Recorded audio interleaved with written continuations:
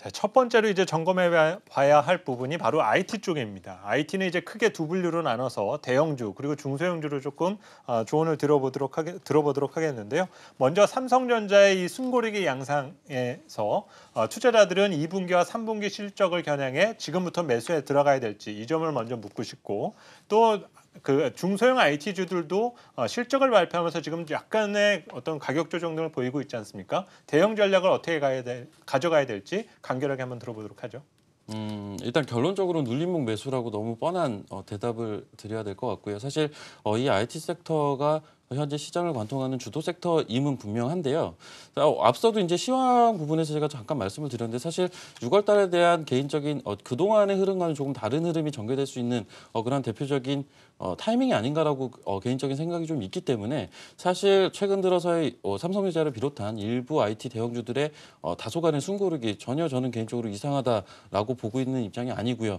어, 삼성전자만 지금 예로 드리자면 일단 이 종목은 어, 작년 하반기부터 가장 핫했던 대표적인 업종이 지금 반도체하고 OLED 이 두 개잖아요. 근데 이 두 부분을 전부 완통하고 있는 대표적인 업체가 사실 삼성전자 말고는 없죠. 그리고 어, 최근 들어서 이제 지주회사에 대한 관심도 굉장히 뜨거운데 사실 이 지주회사에 대한 관심도 사실 어, 최근 뭐 제도적인 부분들도 뒷받침이 되고 있지만 어, 그러한 이제 그룹사들의 지배구조 관련된 이슈와 맞물려서 작년부터 역시나 이제 꾸준하게 관심을 받아왔던 어, 내용이란 말이죠. 근데 이 부분도 사실 삼성전자는 어느 정도 관통을 해주고 있다. 즉 시장에서 핫한 아이템들을 모두 가지고 있는 업체인데 사실 지금 조정 자체가 뭐 일부 숨고르기는 나오고 있지만 뭐 크게 가격 조정이 나왔다라고 어, 보기도 개인적으로 좀 힘들지 않나라는 생각이고요. 조금 더 조정을 받을 수 있는 여지가 있다라고 보시는 건가요? 예, 아직 조정을 받을 수 있는 룸이 조금은 더 남아 있다라고 보고 있고요.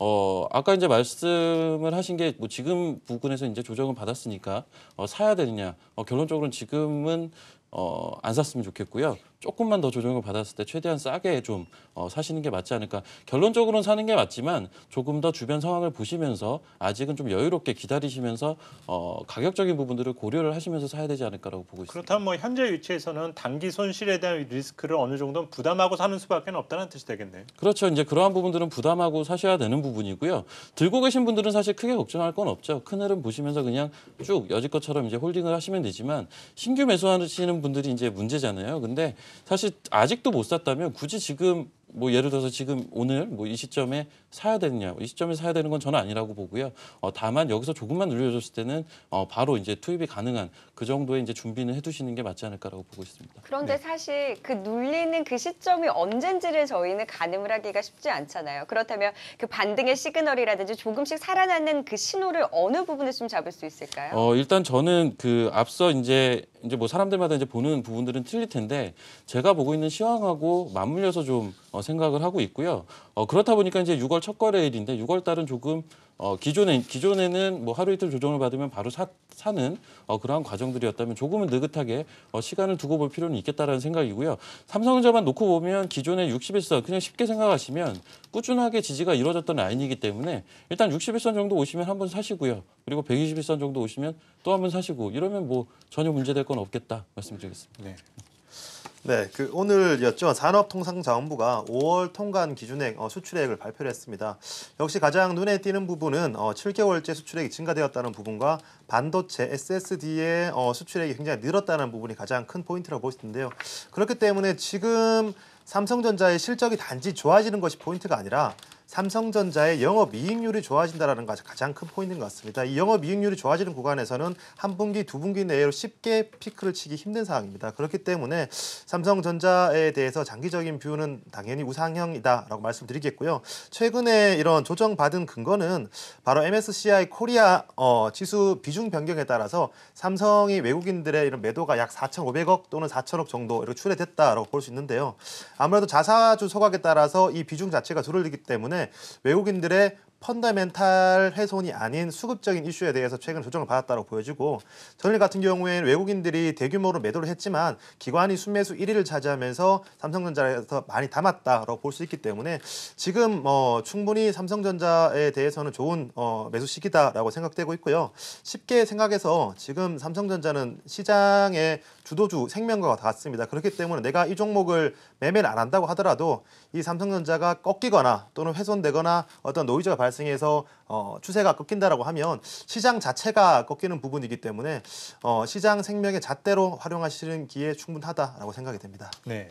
이어서 지난 한 달 사이에 시장 지수 상승을 견인했었던 종목들 중에 하나가 바로 지주사 관련 종목들입니다. 아, 신정부 출범 이후에 가장 큰 수혜를 받지 않았느냐라는 생각이 드는데 오늘 뭐 SK를 앞 코너에서도 점검해 봤었지만 다소 전체적으로 봤을 때는 주춤하는 양상 등을 보이고 있거든요. 주가도 정말 많이 올라 있는 상태입니다. 현재 위치에서의 대응 전략 어떻게 가져가야 될까요? 어, 일단 지금 지주 섹터 같은 경우는 매수로 좀 말씀을 드리겠고요.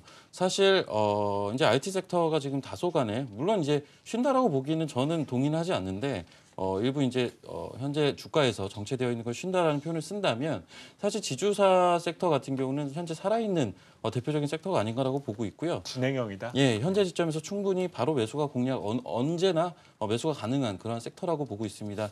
어, 특히나 이제 사실 뭐 지난주에도 그랬고 앞전에도 얘기가 나왔지만 SK 같은 경우가 지금 많이 회자가 되고 있죠. 아무래도 어, 여타 이제 지주사 대비해서는 그 SK E&S라는 어, turnarounding 되는 그런 업체에 대한 가치 이러한 부분들에 조금 더 점수를 주고 있다라고 보시면 되고요. 기본적으로 SK라는 회사 자체, 지주회사 자체가 사실 value 자체가 또 메리트가 있었거든요. 그러다 보니까 어, 그러한 부분들 지주회사가 각광을 받는 시즌에 어, 추가적인 관심을 받는 게 아니냐. 어, 거기에 더불어서 기관의 매수도 집중이 되고 있습니다. 어, 이러한 부분들이 사실 어, 다소간의 이제 지주회사 들이 어, 정체를 보이는 과정에서도 SK 같은 경우는 사실 금일 거의 뭐 신고가 부분이거든요. 그래서 지금 이러한 부분들을 전체적으로 고려를 한다면 기본적으로 매수 관점 대응이 맞을 것 같고요.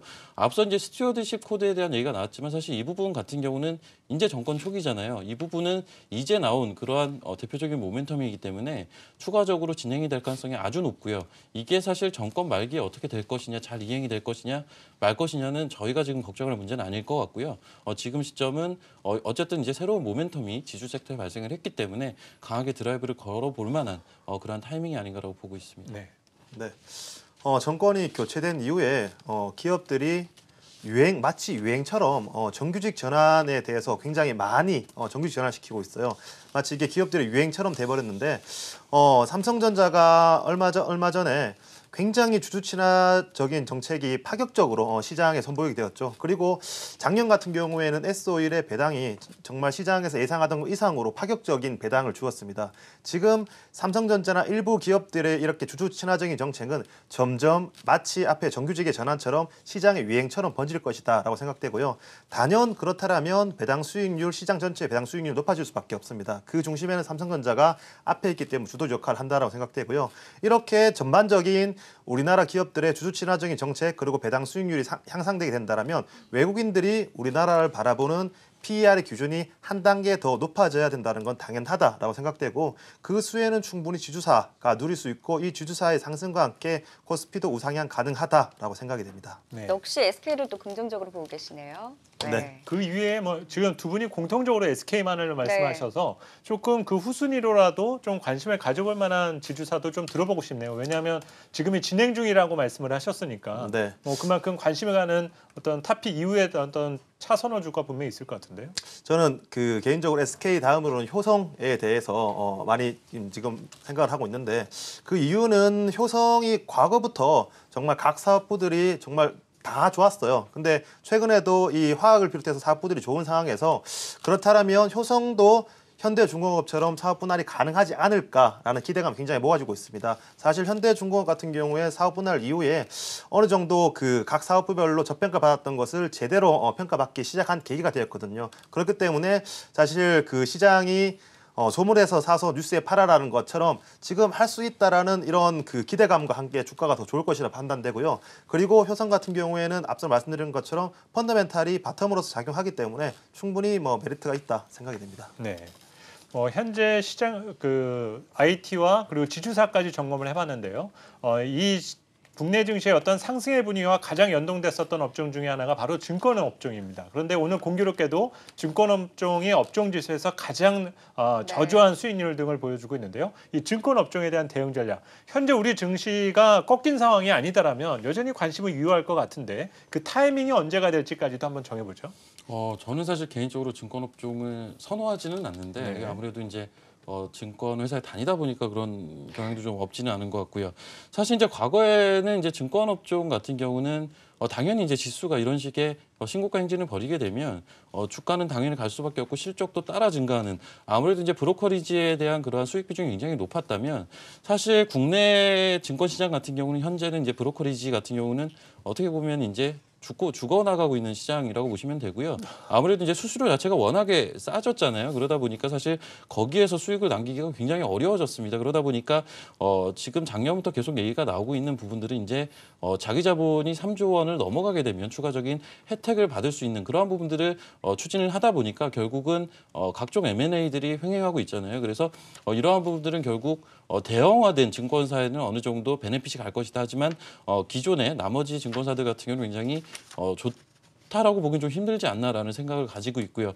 그러한 관점이라면 현재 시점에서 지수가 어, 신고가를 갈 때마다 한 번씩 움직이는 이러한 흐름들 같은 경우는 어, 심리적인 요인이 굉장히 크게 작용을 하고 있다라고 보고 있습니다. 그래서 어, 그러한 부분만 놓고 본다, 본다면 사실 지금 전일 외국인들이 코스피 시장에서 어, 매도세가 굉장히 강했죠. 그리고 금일 역시 뭐 하락폭이 크진 않지만 어, 조정세가 나오다 보니까 어, 증권주 전일에 이어서 어, 금일까지 빠지고 있는 모습이 어, 그러한 심리적인 요인에 기인한다라고 보고 있습니다. 그래서 일단 기본적으로 선호하는 업종은 아니지만 어, 6월 말 정도에 저는 매수를 하신다면 어, 그때쯤 매수를 하시는 게 바람직하지 않을까라고 보고 있고요.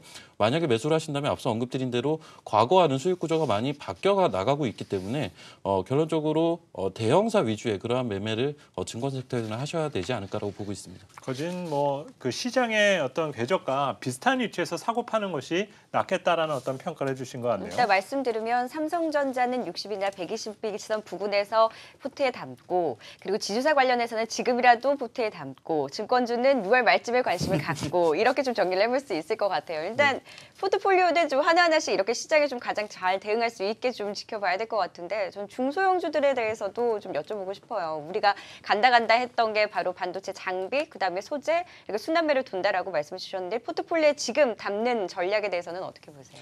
근데 지금 중소형 IT주 말씀하시는 거잖아요. 근데 중소형 IT주들은 지금 종목 하나하나 다 두들겨 보면 전부 조금씩 틀리거든요. 네. 아까 이제 되게 좋은 말씀을 해주신 게 신고가 가고 며칠 쉬고 다시 가고 이러한 모습들이 종목별로 지금 어, 나타나고 있습니다. 그래서 일괄적으로 나타나는 게 아니라 편 시간차를 두고 어, 지금 나타나고 있기 때문에 어, 하나하나 말씀드리긴 좀 힘들지만 어, 눌려줬을 때는 언제든지 매수가 가능한 그러니까 어, 추경 매수는 자제를 해야 되는 예, 추경 매수를 할 네. 필요는 없고요. 어, 현재 구간에서는 이제 가격적인 부담도 어, 기존에 이제 시장을 이끌어왔던 종목들이 꺾였다라고 보긴 힘들지만 어, 가격적인 말 그대로 부담이죠. 그러다 보니까 어, 단기적인 조정을 줄 수가 있는 거거든요. 그래서 그러한 부분들을 활용해서 없는 사람들이 담아 담아볼 수 있는 어, 그러한 구간으로 어, 활용을 하시는 게 좋지 않을까라고 보고 있습니다. 네. 아, 마지막으로 간략하게 이 그 최근에 가격 조정을 좀 보이는 종목들 중에 하나가 중국 소비 관련주지 않습니까? 특히 화장품이라든지 카지노 관련 종목들이 있는데 이 종목들이 이제 7월 초 에 있을 어, 한중 정상회담을 앞두고 기대감이 이제 서서히 줄- 늘어날 것 같거든요. 이렇게 내려가고 있을 때 좀 매수하는 전략 가능한지 이건 과장에게 한번 들어볼까요? 네.